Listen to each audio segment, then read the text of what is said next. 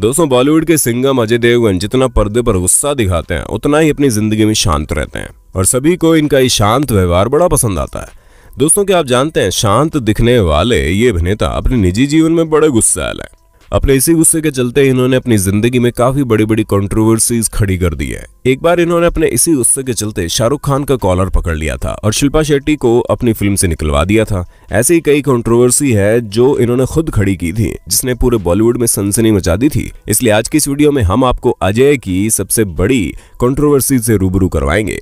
तो चलिए शुरू करते हैं। नंबर पाँच, सलमान खान को धमकाना। सभी जानते हैं कि सलमान खान और विवेक ओबरो एक दूसरे के दुश्मन है। और जब विवेक को विशाल भारद्वाज ने अपनी फ़िल्म ओमकारा में कास्ट किया तो सलमान ने विवेक को इस फ़िल्म से निकालने को कहा। जब विशाल नहीं माने तो इन्होंने अजय देवगन से बात कही, पर अजय ने इसे अनप्रोफेशनल बिहेवियर बताते हुए इन्हें अपने काम से काम रखने को कहा। इनकी यही बात सलमान को बुरी लग गई और उन्होंने इन्हें अंजाम भुगतने की चेतावनी दे डाली, जिसके बाद इन्होंने भी धमकाते हुए कहा कि वो देख लेंगे। वो इनके मामले में नहीं बोले, वरना अंजाम ठीक नहीं होगा। नंबर चार, रवीना टंडन को कहा पागल।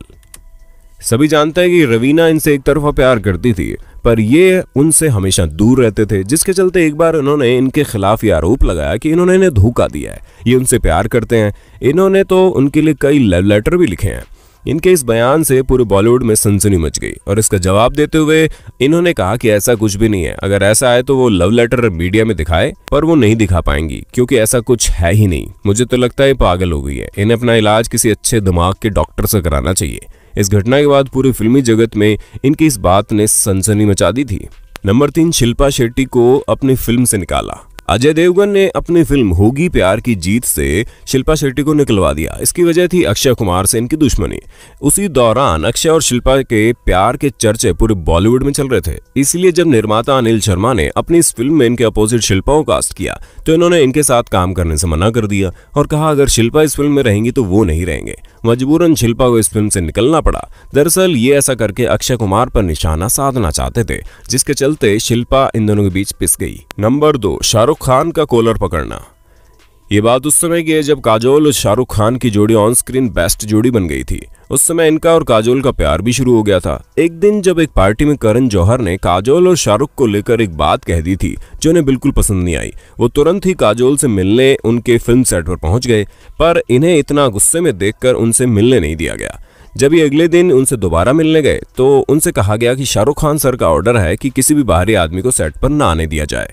ये बात सुनकर ये और गुस्सा हो गए और सभी को धक्का देकर शाहरुख खान की ओर बढ़ते चले गए। उनके पास पहुंचकर इन्होंने उनका कॉलर पकड़ लिया, जो काफ़ी मुश्किल के बाद छुड़ाया गया। नंबर एक, शादीशुदा होने के बावजूद कंगना से अफेयर। जब इन्होंने तेज फ़िल्म में कंगना रनौत के साथ काम किया तो ये उनकी खूबसूरती पर पिघल गए और शादीशुदा होने के बावजूद इन दोनों के बीच नजदीकियाँ बढ़ने लगी। इनकी नजदीकियाँ पूरे बॉलीवुड में छा गई और हर तरफ़ इन्हीं के बारे में बातें हो रही थी, जिसके चलते काजोल और इनके शादीशुदा जीवन में मतभेद शुरू हो गए। अपने और काजोल के बिखरते रिश्ते को देखते हुए इन्होंने कंगना से दूरी बना ली और अपनी पत्नी के पास चले गए। तो दोस्तों, आपको इन सभी विवादों में किस विवाद के बारे में जानकर ज़्यादा हैरानी हुई, आप हमें कमेंट बॉक्स में बता दो और बॉलीवुड से जुड़ी मसालेदार बातें जानने के लिए हमारे चैनल को सब्सक्राइब भी कर दो।